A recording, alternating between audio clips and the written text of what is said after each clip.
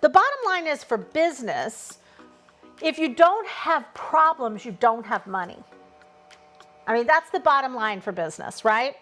And um, and looking at every problem as an opportunity is really the key, right?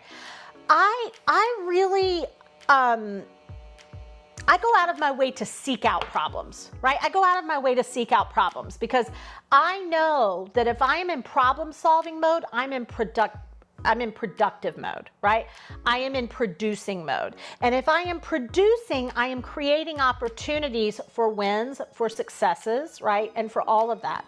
And so I want you, just like I said, you know, for the last week, I wanted you to get into that primal state of awareness that you were meant to win, right? It is your natural born chemistry to go out and want to win. This week, I want you to go, I'm a collector of problems right? You know, you can sit with your lady friends, you can sit with the guys on the golf course and they can all go, you know, my goal is I'm trying to live a problem-free life. And you could look at them and go, can I have your problems please? Because that is cha-ching.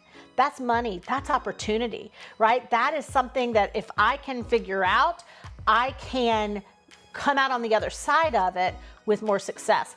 And yes, I mean problems that you can bring into your business and then create solutions for and sell them, but I'm also just talking about in life, right? Like, you know, walking through and going, okay, this is a problem how do I find a lesson in this? And then what can I turn that lesson into?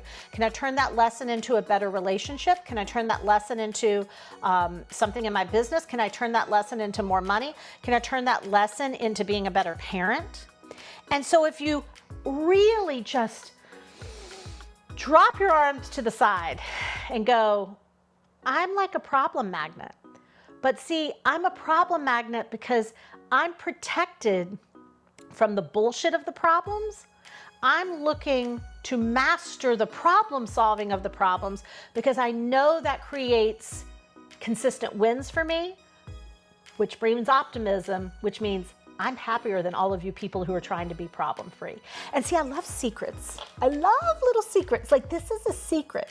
While the rest of the world is out there trying to be problem free, you're like got a little dustpan running around collecting all the problems. And you're like, I found the secret to happiness.